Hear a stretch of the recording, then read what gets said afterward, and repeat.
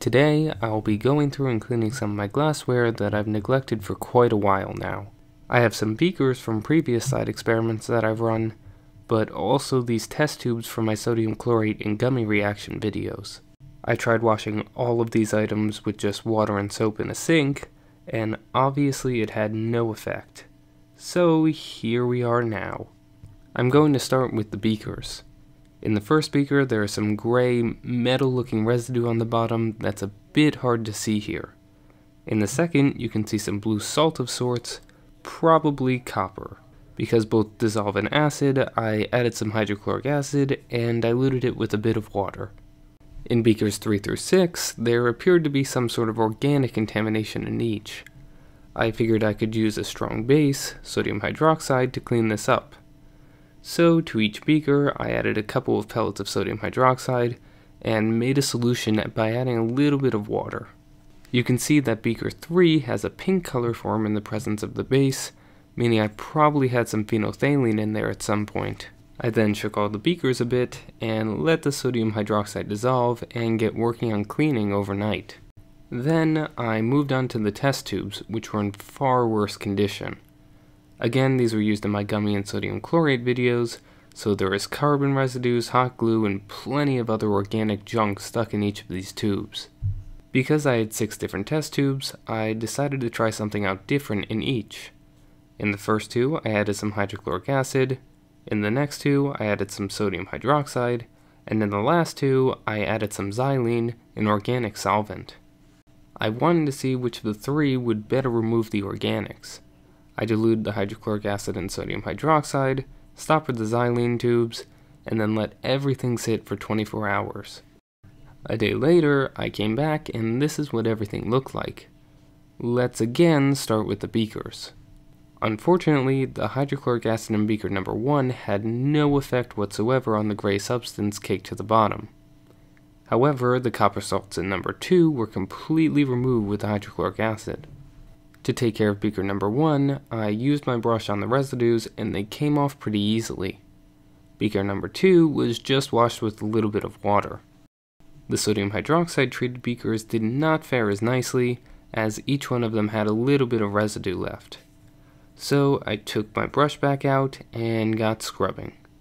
And then I added some water, and then scrubbed some more. I repeated this for each beaker only two of which I include the footage for here because it's pretty mundane. In the end, all the beakers were pretty clean, and I moved on to the test tubes. At first glance, the tubes definitely don't look that much cleaner.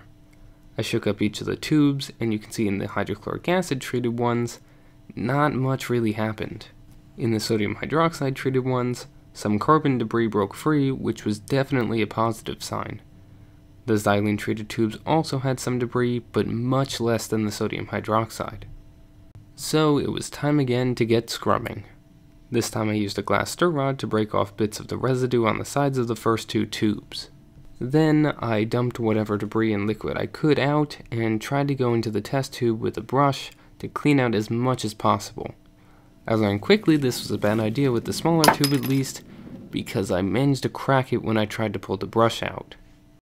Tube number 2 did a bit better, and I was able to remove some of the residue, but not the hot glue that was stuck at the top of the tube. I repeated this whole process of breaking up the debris with glass rods, emptying, and scrubbing with tubes number 3 and 4, and these looked much better in the end. Again, the sodium hydroxide treated tubes were much more clean. Then I did this entire process again with the xylene treated tubes. As you can probably tell, this is some really repetitive work. Afterwards, the tube looked much better, besides the now broken missing tube number 1.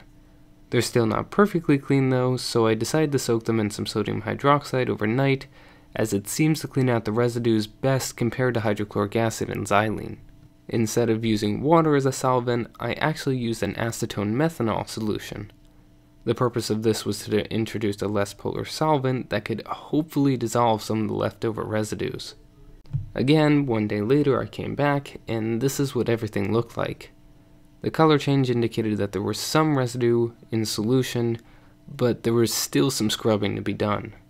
Tube number 2 was more or less a lost cause because of the hot glue at the top, Otherwise, it was generally pretty clean. Tube number 3 was decently clean, besides for this one piece of carbon residue towards the bottom.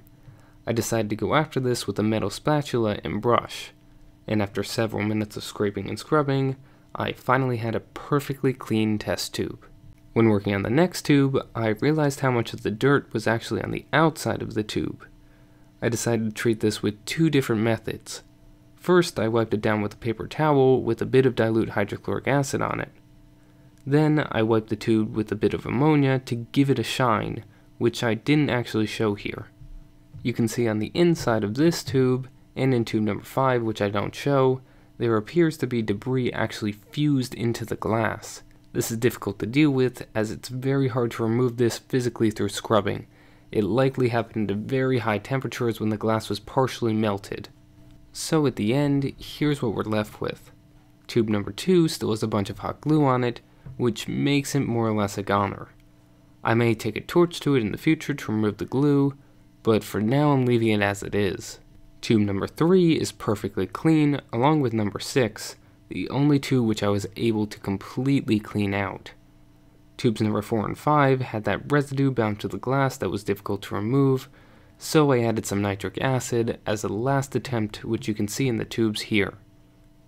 There were no visible changes within 24 hours though with the nitric acid, so I more or less left them to soak until I feel like dealing with them again. The final tube was almost completely clean, besides a little bit of dirt on the outside of the tube towards the top of it, which could easily be taken care of by simply wiping the tube down.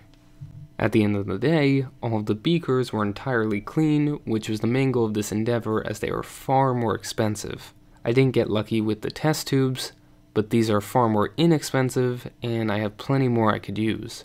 For convenience though, in case you have any dirty glassware that's a pain to clean, I included each of the cleaning steps I used in order to clean each of these tubes. Before I end off this video, I just want to give a quick update on this channel. I'm currently recording one other video distilling phosphoric acid, but it's taking much longer than I expected. I've included a list of all my planned projects here in no particular order, which I'll hopefully be getting to in the new year. I'm more than happy to start working on a project that people want to see, so let me know which would be the most interesting.